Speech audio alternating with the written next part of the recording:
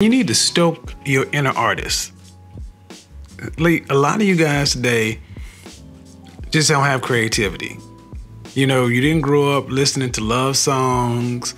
You didn't grow up learning how to, you know, do anything creative. Anything. So in this way, you're just lame, man. You may be smart, you may be a good dude, you may be all that good stuff, but man, it's the it's the dudes that have an inner artist, a dude, a, a guy who can actually communicate uh, his emotions through actions. Why do you think singers and art? Why do you think artists get all the women, man? Because they can tap into their creative. Now, I made a video talking about take up a cool hobby. If you didn't check that one out, you want to check that out. But what it really comes down to, man, is stoking your inner artist. Look, as it stands right now, science, engineering, technology, math, accounting, uh, law, medicine. A lot of you right brain guys, great. I'm right there with you.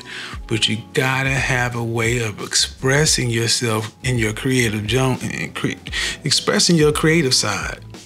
This is a way you will actually let your quote unquote hair down and show a whole different side of your personality. See, don't use style or fashion to do that, but find something. Writing is a great place to start. Here's the reason one, it's safe. Start writing down your thoughts. Just learn how to get what you're thinking onto paper. If and actually handwrite it out. Don't type it, handwrite it out because two birds with one stone. You improve your handwriting and you'll get used to it. Because I believe in journaling, writing stuff down. And here's a good exercise.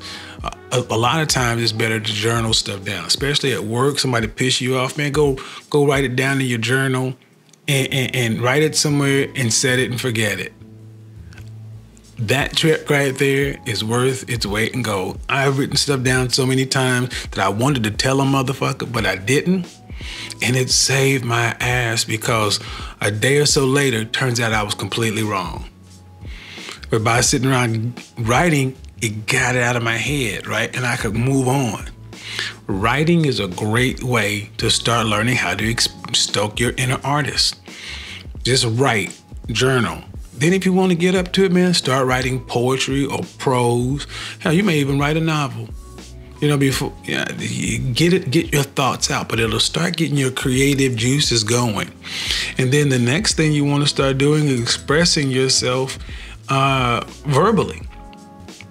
This is where the gift of gab. See, a lot of times you guys d- don't communicate well because you don't practice. You've never stoked that inner artist. So you're repressed. You're emotionally repressed and cut off.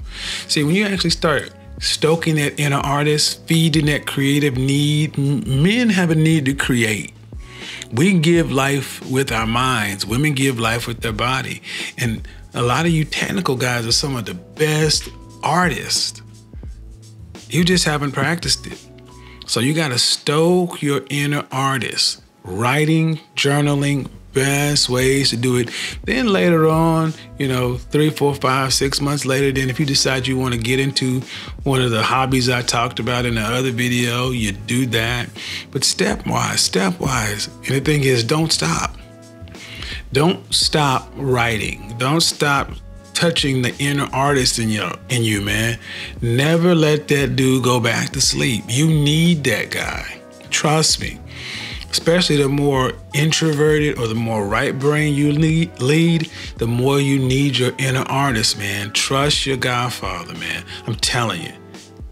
This needs to be your road dog. You know, how you have the little angel and the devil on each shoulder, the the positive and negative sides of your personality. Man, this is give your inner artist a, a, a, a pseudonym. What's mine? Velvet Jones. Velvet Jones is my inner artist. And my inner badass is Pookie Ray Johnson. Pookie Ray Johnson has been my inner badass.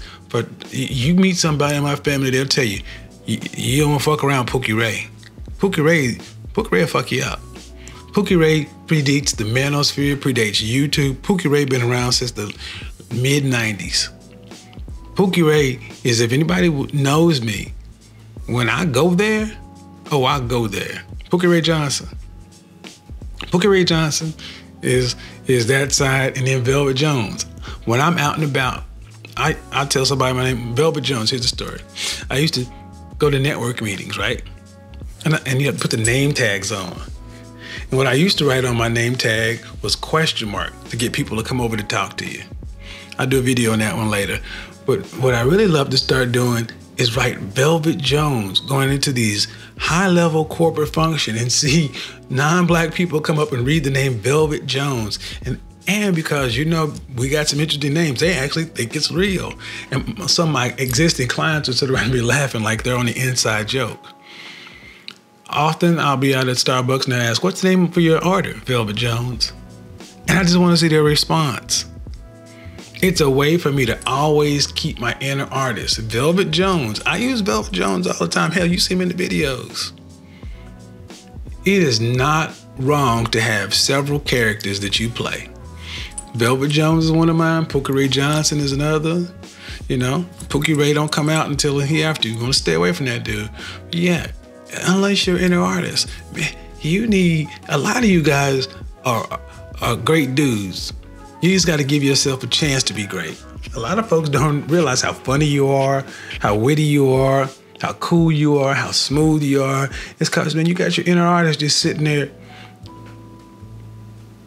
Can't let them come out to play, man. Can't let them come out to play and express yourself. You used to express yourself in Dungeons and Dragons. You used to express yourself in video games. You used to express yourself when you was playing with the G.I. Joe and the Army Men or whatever, Legos, yeah, man, you were creative as a kid, man. You need to stoke that inner boy. That inner boy that create that that sense of wonder, that sense of wow, imagining what the world is, what's over there. You know, science was great because it was like magic. Yeah, man. Stoke that inner artist. You feel what I'm saying? Let that inner artist come out and play, man. He's been dying to come out and play. And you'll be surprised at how one thing leads to another thing leads to another, and you'll start liking your, you'll be better the whole image thing, the way you behave, the way you communicate, and, and, and next thing you look up, and your goofy, corny, nerdy self be a little bit more smooth. They'll be like, okay, you got a little something, something. Especially when you get your frames, fragrance, and footwear. You get your fit over fashion, quality over quantity. You get your right fragrance on. You got your inner artist, and you learn how to express yourself more. Trust the Godfather. Unleash that inner artist. Peace.